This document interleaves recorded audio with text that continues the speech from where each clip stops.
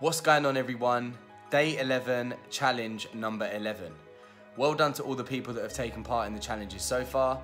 If you haven't got involved, challenges 1 to 10 are on our YouTube channel, so get involved. Today's challenge is called Coin Flick, and today's challenge comes courtesy of an idea from my nephew Jack. So uh, thanks to Jack for this idea.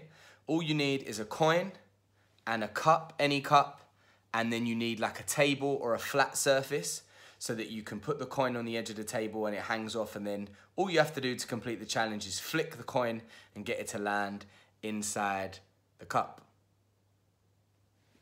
Okay, so let's give it a go.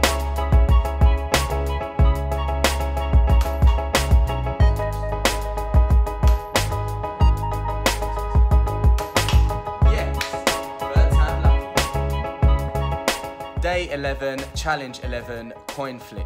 Thanks again to Jack uh, for the idea and good luck. Get involved, upload your challenges and tag us.